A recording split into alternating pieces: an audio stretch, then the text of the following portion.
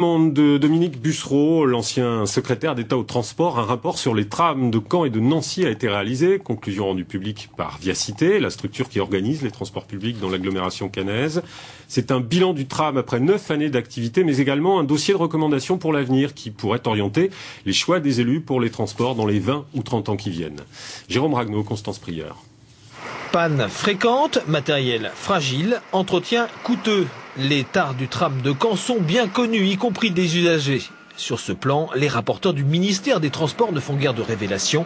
En service depuis 2002, le réseau était prévu pour durer trois décennies au moins. Sachant que le fabricant Bombardier a cessé la production des rames, comment faut-il alors envisager l'avenir?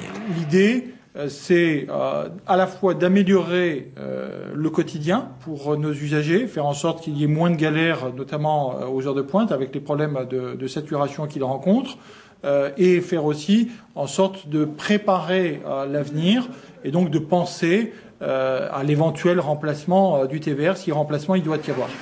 Le discours est sage, trop peut-être aux yeux de certains élus tels Rodolphe Thomas. Le maire d'Hérouville dénonce un manque d'ambition pour l'agglomération il est temps, selon lui, de prendre à nouveau quelques grandes décisions politiques. Ce que je souhaite, c'est de pouvoir valider urgemment une deuxième ligne de tramway.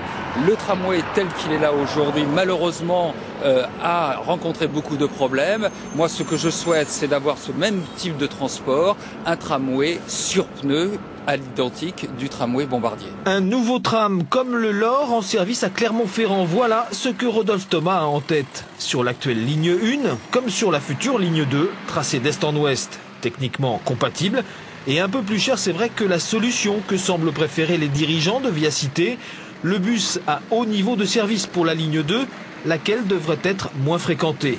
Voilà où en est le débat. Il devrait être définitivement tranché au cours du printemps 2011.